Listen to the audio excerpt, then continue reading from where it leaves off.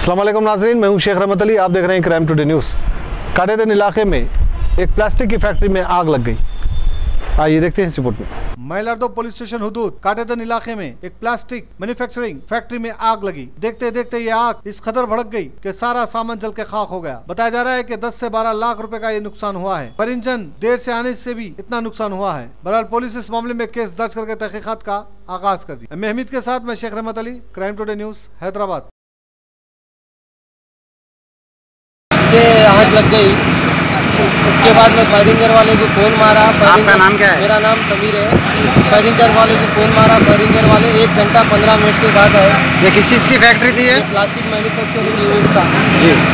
उस वजह से पूरा कंपनी के मशीन शॉप चल गया सर। कितने लाख का माल था इसमें? अब वो गैस का अभी तो मालूम होता थोड़ी देर में। टोटल कितने लाख का माल था? टेन ट्वेल्व के ऊपर ही था।